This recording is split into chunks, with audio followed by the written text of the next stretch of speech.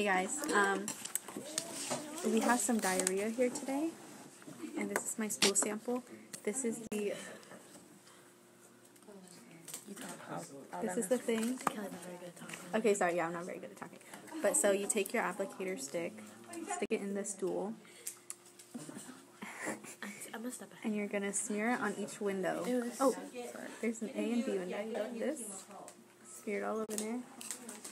Ew, you got outside of the window. yeah, yours is crazy. And then, it might look Oh, I like got it. this, right? Right? And you So now close you're gonna close it. it, turn it, and you open the back window. Do you like close it like this, or do you just Stick like? it in there. and this is where you develop, and you put And you open the- solution on it. Yeah, you put them um, what's called developing solution, and if it turns blue, there's blood in your stool.